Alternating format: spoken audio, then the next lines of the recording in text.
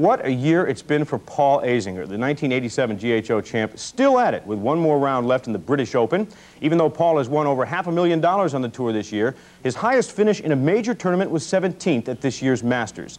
Today in Scotland, Azinger led by one going into the third round. He played an even par round today to maintain that one-stroke lead. There you see Craig Stadler. He made a pretty good showing, a birdie on 17 to put him in the hunt at 4 under. Jerry Taylor, who eagled 17 and birdied 18 yesterday, is still in it. There he birdies on the 15th hole.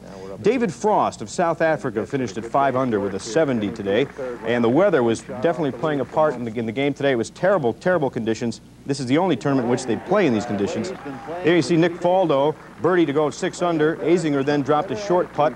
He dropped to 7 under, but both guys would bogey the 18th hole. Azinger had to scramble, as a matter of fact. He hit it wide, had to chip back out on the fairway, came up short, and ended up scrambling for a long 12-foot birdie putt on 18. He has a one-stroke lead, and our best wishes, of course, to him in that British Open.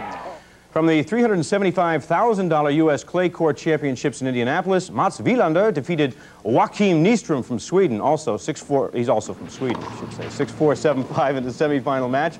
Wilander showed his all-court game, and uh, he's the number one seed. He'll play the winner of the Ken Carlsson-Perez Roldan matchup for the victory. And from Newport, Virginia, uh, rather from Newport, the Virginia Slims tennis action today. Wendy White against Rosalind Fairbank. It was Wendy White walking to the win, 6-3, 6-4. Boston Celtics assistant coach Chris Ford and his family got the heating oil that they ordered yesterday, but where it went made the news today. It seems a delivery man for the Nekarosky Oil Company pumped 2,000 gallons of the stuff into a disconnected pipe at the Ford's home while they were away, soaking it into the furniture, oh, carpeting, and under the basement. 2,000 gallons of black gold Texas tea, Jerry and Candy, bubbling oh, crude. What a terrible thought. That's awful.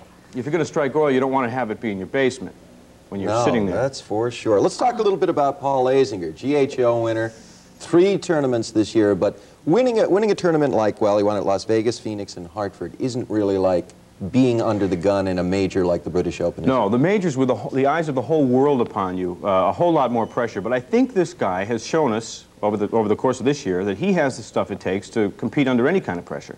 Uh, GHO and all the galleries being one thing, but the cameras of the world, so to speak, uh, being a totally different thing, the British Open. And in these conditions, the rain, the wet, the muck, uh, you know, Terrible. I wouldn't that, want to be in his shoes. That final birdie putt looked pretty good that he gave there at the end. I will there. take the half wonderful. million dollars that he's won, so. Oh, well, let's hope he doesn't turn it. But we haven't heard of Bob Tway all year, so I hope Paul Azinger can keep it up uh, yeah. year after yeah. year. Tway tweeted out. From what I hear about Jerry Brooks at a tournament this week, he could give Azinger a run for his money on and the putting green. He's coming around. Mr. Adams showed the way out at the Tallwood Country Club in Hebron. What fun.